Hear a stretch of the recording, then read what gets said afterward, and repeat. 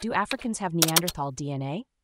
Have you ever wondered if the DNA of our ancient cousins, the Neanderthals, is present in people living in Africa today?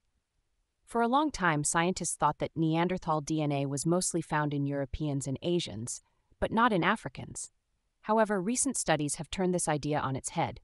When modern humans, or Homo sapiens, left Africa around 70,000 years ago, they encountered Neanderthals in Eurasia.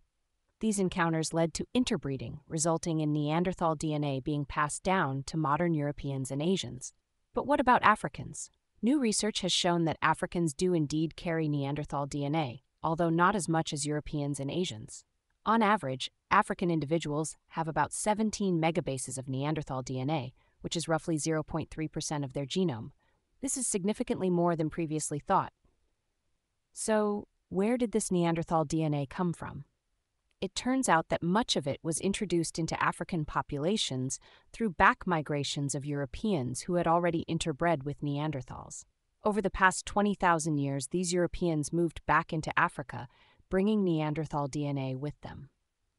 Additionally, some of the Neanderthal DNA in Africans may not be from direct Neanderthal ancestry at all.